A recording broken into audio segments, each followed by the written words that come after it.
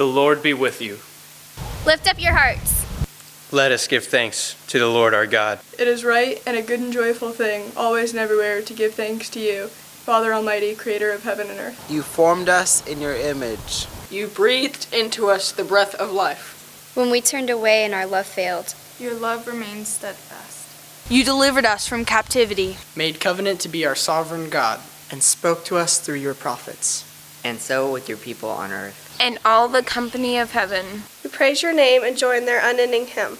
Holy, holy, holy Lord, God of power and might, heaven and earth are full of your glory.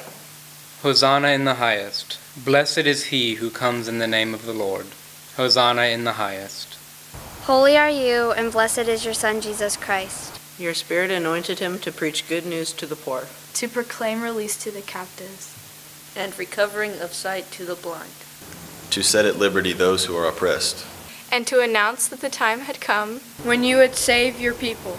He healed the sick, fed the hungry, and ate with sinners. By the baptism of his suffering, death, and resurrection, you gave birth to your church delivered us from slavery to sin and death, and made with us a new covenant by water and the Spirit.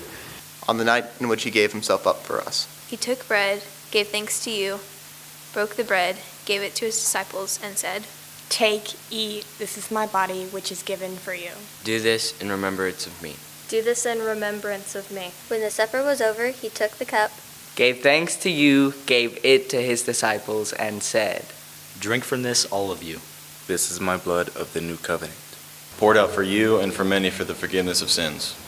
Do this as often as you drink it in remembrance of me. And so, in remembrance of these, your mighty acts in Jesus Christ, we offer ourselves in praise and thanksgiving as a holy and living sacrifice. In union with Christ's offering for us as we proclaim the mystery of faith. Christ has died. Christ is risen. Christ will come again.